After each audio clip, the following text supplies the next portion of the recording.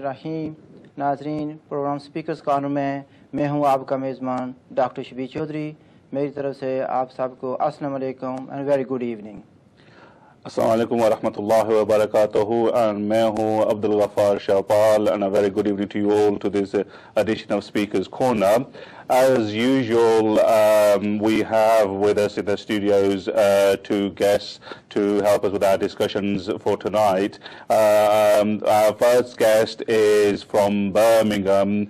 He's uh, Najib Afsar, who is chairman of the Kashmir Liberation Organization and also a spokesperson for uh, JKNIA uh, our second guest, uh, unfortunately, is running um, somewhat delayed uh, due to unforeseen circumstances. Will be joining us very shortly, inshallah. He will be Wahid Kashir from Reading, who is a spokesperson for Kashmiri Workers Association and also a writer and analyst. So, in the meantime, I'd like to welcome Najib Afsar Sahab. Assalamu alaikum, sir. Good evening to you.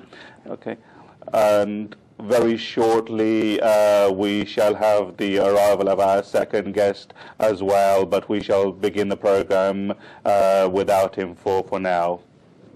नाजरीन पिछले हफ्ते का programme इस लिहाज से बहुत अच्छा था कि हमें बड़ी पॉजिटिव फीडबैक आई है हमारे मौजम महानू ने बड़े दलाइल के साथ पूरे मामला को डिस्कस किया और एक लिहाज से कंसेंसस बिल्ड हुआ और उन उन चीज़ों को देखा गया कि मसला कश्मीर के हल में कौन कौन सी चीज़ें रुकावट थीं।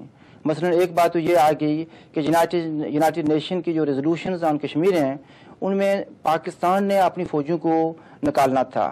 और लेकिन अक्सर ये कहा जाता है कि इंडिया ने निकालना था, लेकिन पिछले हफ़्ते की बहस और यूनाइटेड नेशन की रेजोल्यूशन पढ़ने के बाद ये कंसेंसस हो गया कि पाकिस्तान ने फौजें निकालने से इनकार कर दिया। बाद नाइनटीन फिफ्टीज़ में मिड नाइनटीन फिफ्टीज़ के बाद इंडिया ने कश्मीर को अपना अटूट अंग कहना शुरू कर दिया। ये भी कंसेंसस हो गया कि मसला कश्मीर जो है as far as international community is concern वो कहते हैं कि ये इंडिया और पाकिस्तान ने बाहिमी आपस में बैठकर हल करना है। इन दूसरे लफ्जों में, मारे हम जाते हैं, औरतें हमारी बेवा हो रही हैं, बच्चे हमारे यतीम हो रहे हैं, सत्तर या अस्सी हज़ार लोग जो हैं अपनी जाने गंवा चुके हैं, लेकिन हमारे मुस्तबिल का फैसला कौन करेंगे? पाकिस्तान और हिंदुस्तान के रहनमा।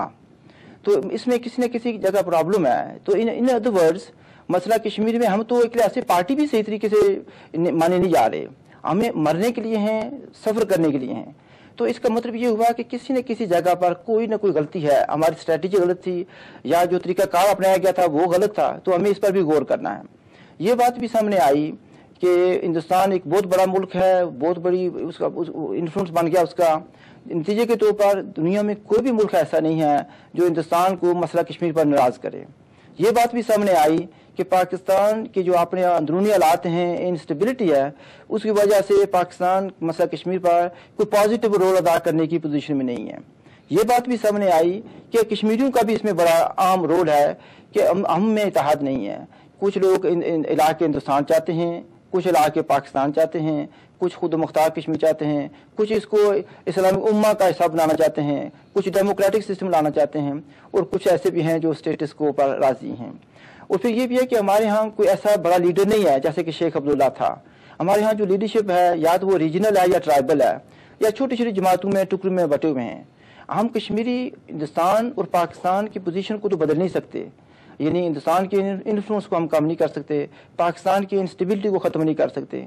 लेकिन कम से कम हम ये तो कर सकते हैं कि अपने दरमियान कंसेंसस पैदा करें। और हमारे प्रोग्रामों का यही बड़ा मकसद है कि लोगों को एजुकेट किया जाए और उनको ये कहा जाए कि be Kashmiri think as a Kashmiri act as a Kashmiri. ये नहीं है कि देखिए, हमें कश्मीरी बनकर सोचना है, कश्मीरियों के मफदात का तहफ़ करना है। हिंदुस्तान और पाकिस्तान के मफादात करने के मफादात का तहफ़ करने के लिए उनके पास बहुत बड़ी मशीनरी है। तो इसके बाद मैं एक फाइनल बात ये करना चाहूँगा इस बात पर कि हमारे जो कॉम्प्लीमेंट्स आई हैं, मैं एक आदमी का ज़िक्र करना चाहता हूँ। उस ने कहा कि जनाब, डॉक्टर साहब और Kashmir national party you are doing a great service to the cause of Kashmir मैं समझता हूँ कि इसके हमें बड़ी हौसला अफजाई हुई है। हमारी जो क्रिटिसिज्म आती है, हम उसको भी खुदा पेशानी से कबूल करेंगे। तो अब आते हैं आज के मौजूद की तरफ़। आज का मौजू भी बहुत ही इम्पोर्टेंट है। ये Karachi pact and its implication on Kashmir. तो हमारे इतफाक से इस वक्त चूँकि सिर्फ़ एक ही मेहमान है, दूसरे मेहमान रस्ते में हैं तो मैं अपने जो मेहमान इस मौजूद हैं, नजीब अफसर साहब, उनसे सवाल करना चाहूँगा। भाई, देखें, हमारे यहाँ कहा जाता है, कश्मीरी कहते हैं कि पाकिस्तान हमारा बड़ा भाई है। कश्मीर हमारा हमदर्द पाकिस्तान हमारा हमदर्द है, पाकिस्तान हमारा बड़ा भाई है, और पाकिस्तान हमें आज़ादी दिलाना चाहता है। तो मैं इनसे ये पूछना चाहूँगा कि ये मायदा कराची है क्या? और आपको इस मायदा कराची से क्या प्रॉब्लम है?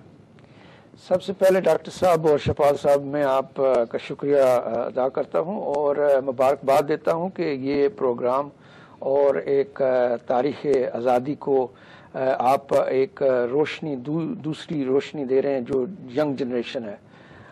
जो सवाल आपने किया कि कराची पैक्ट क्या चीज़ है? कराची इसकी बहुत बड़ी लंबी दास्तान है और ये बदकिस्मती के साथ जैसे आ, हमारी जो तकसीम टू नेशन थीरी हुई और कश्मीर तो टू नेशन थीरी का हिस्सा भी नहीं था। लेकिन जब पाकिस्तान और हिंदुस्तान अपने वजूद में आए और उसके बाद इन्होंने स्ट्रेटेजिक पोजीशनिंग की कोशिश की इंडिया एंड पाकिस्तान। और इंडिया ने तो वो इंस्ट्रूमेंट ऑफ़ एक्सेशन का वो कर लिया कि ये तो हमारा वो एक्सीड कर लिया। तो पाकिस्तान ने क्या किया कि after the UN resolution which stipulated कि that the people of Jammu Kashmir will be given the right of self determination to determine the destiny वो ये था कि चाहे वो हिंदुस्तान के साथ जाएँ पाकिस्तान के साथ जाएँ या खुद मुख्तार रहें और पाकिस्तान ने क्या किया उस उस रेजोल्यूशन में यह भी था कि कोई ऐसा बड़ी डिसीज़न जो है वो यूनिलैटरल या बायोलैटरल ये कोई उनका हक नहीं होगा until it comes to the security council और वो ही फैसला कर सकते हैं तो आप ये कहना चाहते हैं आप ये कहना चाहते हैं कि जो मायदा कराची है तो ये एक लिहाज से यूनाइटेड नेशन की करारदादों it is yes of course it is completely ये उसकी नफी करता है कि ये पाकिस्तान ने फिर क्या किया कि बदकिस्मती के साथ हमारी जो आपने जैसे कहा कि कुछ लोग इधर चाहते हैं उधर चाहते हैं कुछ लोग स्टेटस को चाहते हैं। और उनको पता भी नहीं है कि क्या कि, कि हमारी यही रिवायत आई है कि जो बड़ा जिसके हाथ लाठी है वही इसकी हुक्मरानी करेगा। पाकिस्तान ने सिस्टमैटिकली एक इंस्ट्रूमेंट बनाया जिसका कराची पैक्ट है। और उसको एक उसको अनाउंस कर दिया। लेकिन अब था कि जिस आदमी का वो ये किसके दरमियान है? कराची पैक्ट है किसके दरमियान कराची पैक्ट पाकिस्तान इस्लामाबाद के दरमियान है। कश्मीरियों के तो दरमियान तो है ही नहीं है I think Dr. Saab is trying to ask um, who the, actually signed the agreement. इसी वही मैं कह रहा हूँ कि वो जो कराची पैक्ट वो कश्मीरियों का तब होता कि जब हमारी कश्मीरी क्यादत उस पर साइन करती जब हमारी क्यादत ने जिसका नाम लिया जा रहा है सरदार इब्राहिम मैं खुद यहाँ बैठकर ये वाजिया करना चाहता हूँ कि एक बार यहाँ सरदार इब्राहिम साहब आए और उन्होंने अल्फन कहा कि मैंने कोई वायदा मुआदे पर साइन नहीं किए। अगर उन्होंने नहीं किए तो किसने किए? ये तो वही हुआ ना जैसे उन्होंने मंगला डैम का एग्रीमेंट किया। चीफ सेक्रेटरी ने साइन किए, वापडा ने साइन किए और उनके दूसरे जो मिनिस्टर था सेक्रेटरी दूसरे लफ्ज में टॉपिक से हटके हैं। तो यानी चीफ सेक्रेटरी भी पाकिस्तानी हुआ आज़ाद कश्मीर में जो वो भी पाकिस्तानी हुआ वापडा का जो चेयरमैन है वो भी पाकिस्तानी हुआ। हाँ। तो दूसरे लफ्ज में जो मंगला डैम का मायदा था वो भी दो पाकिस्तानी के दरमियान हुआ। वो पाकिस्तान तो जो मायदा कराची है आप ये कहना चाहते हैं? मैं ये कहना चाहता हूँ होल हार्टेडली कि ये कश्मीरियों ने साइन नहीं किया लेकिन साइन नहीं किया लेकिन तस्लीम कर लिया ने। अच्छा तस्लीम अच्छा ये वो जो उसका जो इम्प्लीकेशन में रहे देखो उसमें इंटरम अथॉरिटी आई थी जिसका यूएन रेजोल्यूशन के तहत वो तो गवर्नमेंट चलो अथॉरिटी गवर्नमेंट एक ही चीज़ होती है। अथॉरिटी थी और उन्होंने इसको ऑन कर लिया अर्थात कि उन्होंने साइन नहीं किया लेकिन इसका जो इम्प्लीकेशन हुआ है कि वो उसको पूरे राइट्स जितने भी राइट्स थे जो इंटरम अथॉरिटी को होने चाहिए थे वो सब इस्लामाबाद के पास है। और उसमें जितने भी फॉरेन अफेयर्स डिफेंस अत्ता के रेफ्यूजीज रिहेबिलिटेशन तक भी वो इस्लामाबाद के पास आए। और ये जो इसका जो implication it give more opportunity to the other side the Indian government to वो भी आपने उसको पक्का बना लें। इन्होंने भी ये पक्का बना लिया। अगर ये अफेक्टेड था अगर कराची मुआदा था सबसे ये होना ही नहीं चाहिए था। इसको सिर्फ़ और सिर्फ़ इनविजिबली ऑक्यूपाइड करने का एक तरीका था। ऑक्यूपाइड करने के लिए एक इंस्ट्रूमेंट आज़ाद किया गया ताकि हैं कि इस मायदे के तहत पाकिस्तान ने गिलगित गिलगित बल्तिस्तान को ऑक्यूपाई कर लिया आप ये कहना चाहते हैं वो Exactly, control आप- totally. Occupied Gilgit and Bal- and also not all ये नहीं है सिर्फ़ गिलगित एंड बल्चिस्तान को लेकिन ये जो चार हज़ार मुरबा मील है जिसको आज़ाद कश्मीर कहा जाता है चार हज़ार मुरबा मील उसको भी इनडायरेक्टली ये कंट्रोल कर रहे हैं बेसिकली इट ये ये स्टेटस को हुआ कि वो उस वो आप रखें ये हम रखेंगे Yes, अच्छा, तो दूसरे because उसमें इसमें ये बात आ गई कि एक तो माहिदा कराची ने पाकिस्तान को यह अख्तियार मिल गया कि वो गिलगित बल्तिस्तान को जिस चाहे यूज़ करे। और आज़ाद कश्मीर में भी उसका अपना कंट्रोल आ गया। तो ये आज़ाद कश्मीर की जो हुकूमत थी उस वक्त उसमें मायदा कराची में उसका क्या रोल है? उसमें जो रोल है उनका एक बहुत बड़ा रोल है कि जब उन्होंने तस्लीम कर लिया कि ये ये जो मुआदा है जो जब जब उन्होंने साइन भी नहीं किया तो उन, उनको कहा गया कि ये मुआदा है। उन्होंने कहा जैसे उन्होंने अक्टूबर की जो पहली गवर्नमेंट थी उसको मस्तरद कर कर चौबीस अक्टूबर की गवर्नमेंट को तस्लीम कर लिया। ये वही बात है। So basically, what's happened is I'm just uh, speaking in English just to let the youngsters know because there are many, many, many Kashmiri youngsters who watch our program as well, and we're being told that unfortunately they don't understand Urdu quite clearly as well. So therefore, putting it to English. So basically, this agreement was signed by the Pakistanis for the Pakistanis without any regard whatsoever for any opinions by the, the Kashmiri people. Um, Gilgit Baltistan, uh, they've started calling it the Northern Territories, which of course it, it's not. It's always been Gilgit Baltistan, and that's what it should be. And because Pakistan want to show their authority over it, they've started calling it the um, Northern Territories. Um, so uh, what, what you just said, uh, and just like to reiterate that um, any any Azad government that was part, supposedly part of this agreement, was just basically puppets of of, of the Pakistan administration. Um, and as you've already mentioned, um, Sardar Ibrahim Khan, he, he never actually uh, stipulates that he ever signed such a document. Um, so, so what do you think um, the rest of the world?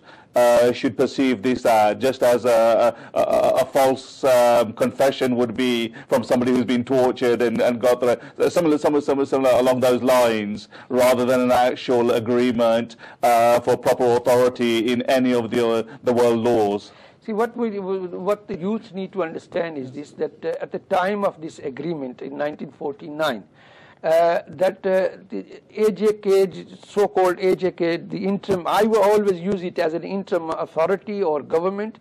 They were mere spectator, or they might have read it in the paper that there is such thing as a, a Karachi agreement, and that they have to abide by it That's right. So it's basically being forced it's- onto it's- them. because the relationship between Muzaffarabad and Islamabad at that time, it was Karachi, of course, that the relationship has always been a master and a slave.